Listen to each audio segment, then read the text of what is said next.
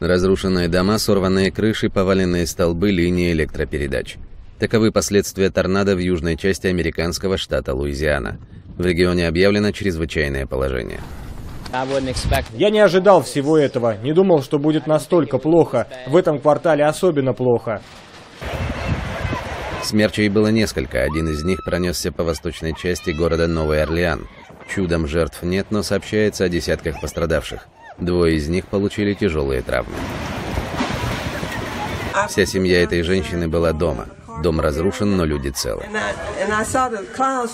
Облака двигались очень быстро. Тут я услышала этот звук. Дочь сказала, что как будто поезд, и что, наверное, это смерч. Потом мы увидели летающие обломки. Прежде чем мы что-то поняли, он уже двигался на нас. Погас свет, мы побежали по коридору в спальню. А потом слышали звон стекла, двери. Честно говоря, думали, не выживем. Она говорит, что все длилось около восьми минут, но казалось, что целую вечность.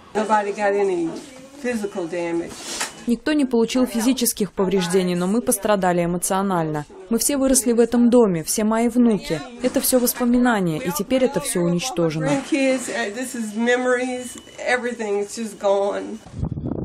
В результате нашествия смерчей несколько тысяч домов остались без света. Есть сообщения об утечках газа. Власти продолжают оценивать ущерб, нанесенный стихией. Напомним, в 2005 году Новый Орлеан сильно пострадал от урагана Катрина, самого разрушительного в истории США. Тогда в городе погибло почти 2000 человек.